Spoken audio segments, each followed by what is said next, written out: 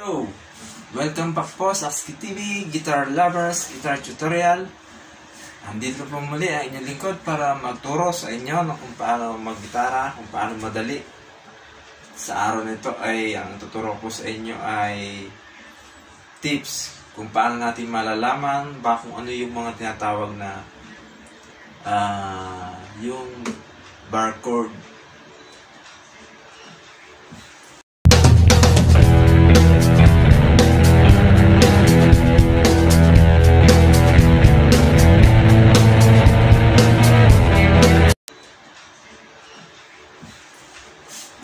kasi may tinatawag na barcode. Kasi po yun eh, kumbaga eh, parang doon nagmula po kasi yung barcode na yan, doon siya kinuha sa halimbawa po, example natin sa E. Ito po yun, E. E shape. Yung barcode na sinasabi niya, dito po siya natin gagawin sa 7th fret. Ito po. Tingnan niyo po. ah, A string on the 7th fret is A string on the 7th fret 7th fret diba A hindi po ba magkatunog siya? Bali, ito yung E shape. Ang barcode niya ay ito. Ito siya magsisimula. Nagagawin naman natin siya na A shape. A shape ba? Pero ang tawag po sa kanya, barcode. Ito po siya.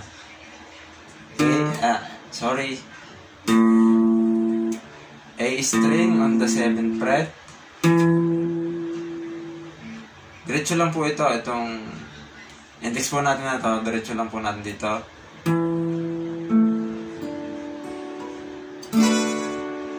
Diretso lang po yan, tapos ito po, ah, D string, to D, D string po siya sa 9, 9 fret. Ah. Tapos, itong G string, G string, 9 fret din po. Tapos ito naman, B string. Ah, B string. Sa 9 fret din. Bali, ganito po ang position niya.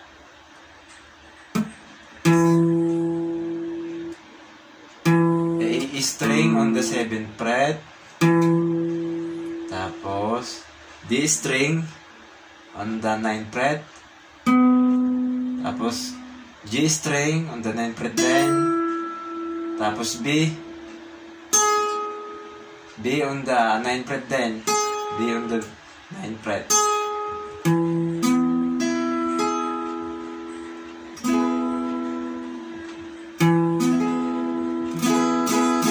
Yun po yung na bar chord. Parang hindi naman siya mahirap unawain eh. Kasi kumbaga, ito, ito, di ba, A. Hahanapin mo lang yung kasinonimo niya dito. Ito, E. E. Ayan po, magkatunog siya. Tapos yung E shape na, na yan, yung E na yan, E major, gagawin nyo lang po siya na A shape. Kumbaga, A shape, A shape.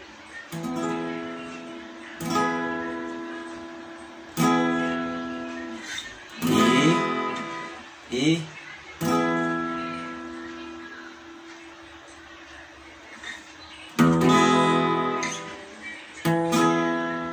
Tapos, isa pa muli, isa pa muling halimbawa, ah, dito po naman tayo sa F sharp.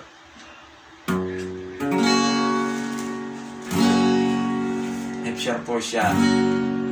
Nabi po natin ang katumbas niya po dito. Bale, ito po, kung titignan nyo, E shape, E. Pero ganun po siya, F sharp.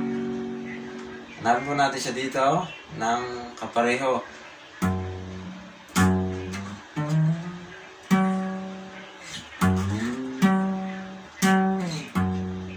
Mababang F sharp. Mataas F sharp. Na ganun din po ang gagawin niyo po siya kung ano po kung paano po yung ginawa niyo dito sa sa E. Dito naman po sa F sharp. Ganun din siya. Kung medyo sanay naman po kayo, pwede naman po yung ganitong style.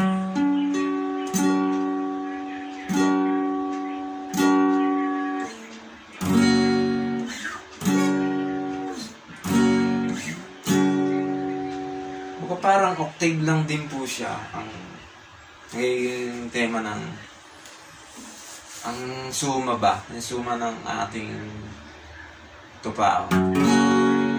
F sharp. F sharp. E. Kumbaga parang ah pinatinis ba yung kanyang tunog. Medyo medyo may bass. Dito naman parang Twitter, parang matinis siya. At yun po, eh, binabagay din po sa kanta eh. Bawas ang kanta eh, medyo mas maganda siyang pakinggan dito. Depende rin naman po, mayroon din naman kantang dito na babagay siya.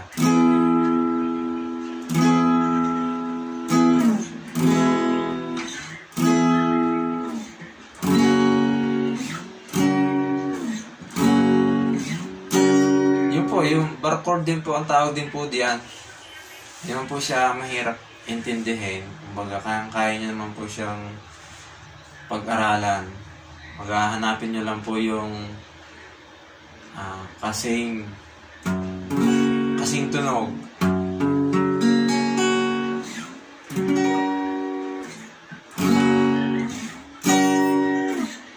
Ang tawag po dyan ay bar chord. So, at yun po, bali kung bawa, adjust po kayo dito sa G.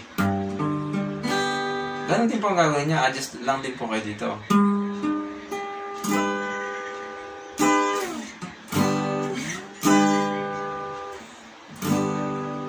Yun po yung sikreto dyan kung paano malalaman yung mga tinatawag na bar chord.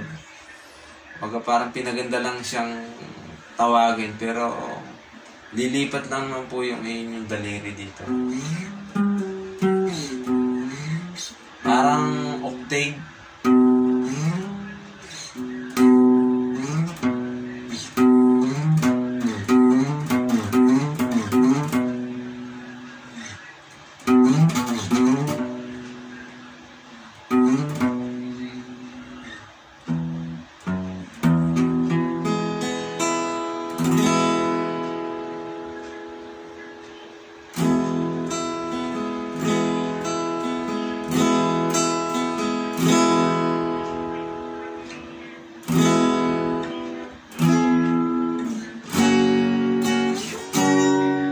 Para yung tinuro ko na po sa inyo dati, kung napanood nyo po yung aking mga naunang video. Mga video ko na kung paano i-combine ba, kung paano i-combine yung yung A shape sa E shape. Yan po. Parang ganun po siya, yung tinatawag na bar chord sa gitara. At yun po, eh, hindi namang, kumbaga, hindi naman natin isipin na isa siyang isang tanong na aalam natin ano ba yung tinatawag na bar chord.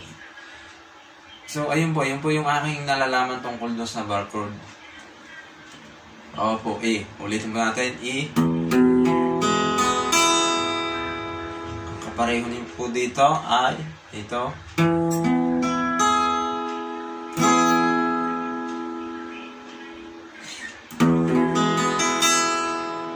Bagamat ganun pa man eh, ang masasabi ko sa inyo, eh, importante po yung, ang malaman niyo po yung mga notes. Bago bawat isa,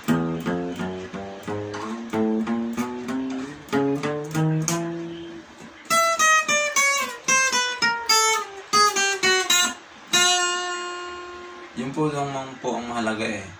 Yung note, note by note kasi mas madali niyong malalaman kung ano yung mga mga tupa ng isang kanta. Madali kayong magsipra ba? Yung sipra kasi mahalaga po yun yung marunong kang magsipra sa gitara. Bawa po, may sasabayan po kayong isang kanta. Marunong kayong maghimig. Ang tawag po sa amin sa Batangas, ihimig eh. Himig, himigan mo nga. O kaya ihagingan mo nga. Dito po ako sanay sa ganito, sa ganito. Pagka mag maga mangangapa po ako ng isang kanta. Ganito po lang ang ginagawa eh.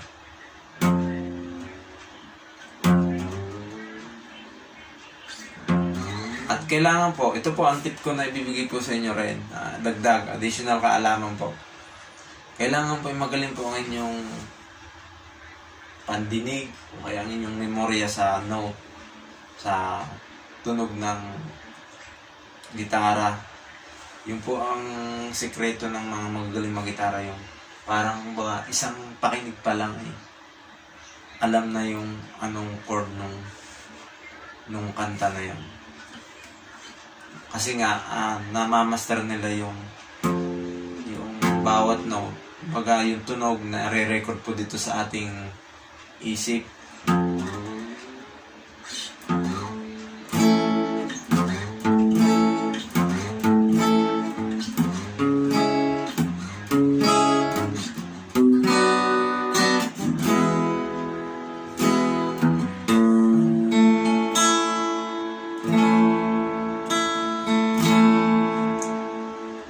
Tandaan nyo lang po na dito, kung talagang matyaga po kayo mag-aral mag-gitara, nawakan nyo lang yung lagi yung gitara nyo, kahit medyo tinatamad na kayo, parang, wala na, walang matutunan. Eh, hawakan nyo lang yan. At mag, may mag-uudyok sa inyo na pa, kumbaga parang inuudyokan kayo ng espiritu ng ay, tumugtog ka kahit ano.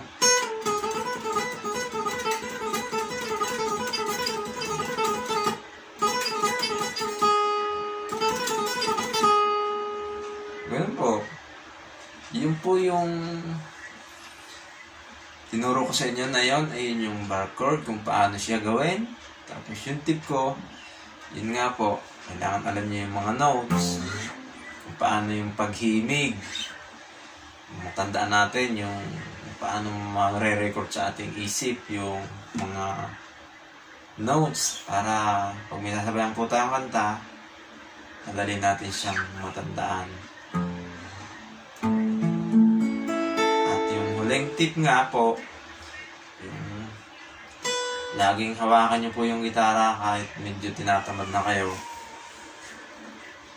Okay, ganun, ganun lang kayo.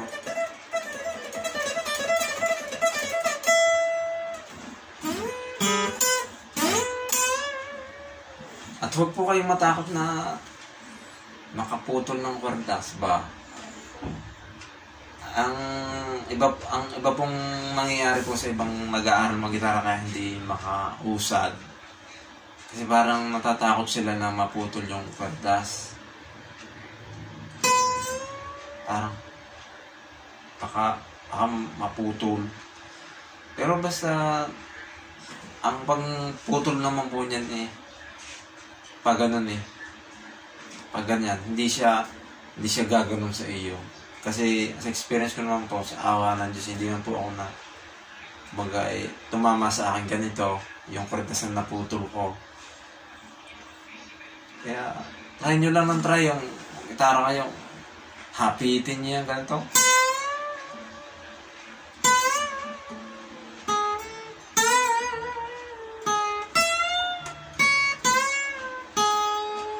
Parang bagay, yun po ang dahil lang para matuto kayo kapag ka kayo nakakaputol na ng kwardas.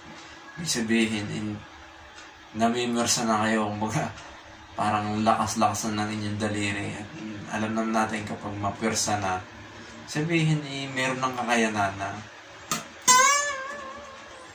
hindi na natatakot masyado.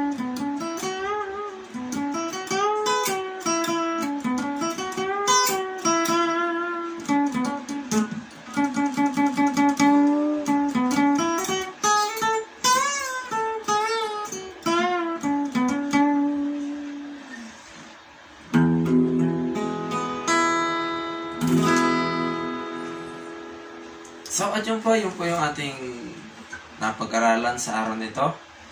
Yung kung ano yung tinatawag na bar chord. Yung tip ko ay yung kailangan alam natin yung mga notes. Tapos yung isa pa ay yung kung paano yung yung paghimig. Kailangan matalas yung ating kaisipan sa paghimig para ma-record sa ating memorya yung mga tunog ng notes sa gitara. At yun lamang po ang aking maibabahagi sa inyo. Kumaga, salamat po sa inyong pagtsatsaga makipagkwentuhan sa akin at hanggang sa susunod, magbabalik po ang inyong lingkod kung luluubin. Maraming salamat po and Godless.